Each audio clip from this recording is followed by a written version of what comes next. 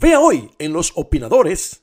La misma campaña, más nada, porque no se diseñó. Cuando llegó AstraZeneca, cuando llegó aquí, se hizo una campaña. Luego de AstraZeneca, no se realizó ninguna otra campaña. ¿Usted cree que es justo que las gobernaciones del país se le enviara dinero para realizar campaña y no crearon una sola estrategia. Fueron a mendigar a los canales de televisión.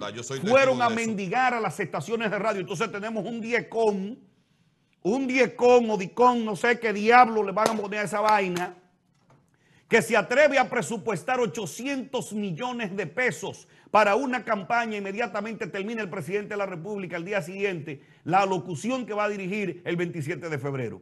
Pero no, ¿cuánto hemos gastado en, estrategia publicitaria para traer las personas a vacunar? Los opinadores, lunes a viernes a las 7 de la noche por Canal América, Canal 1014 de Optimum, la televisión dominicana, para el mundo.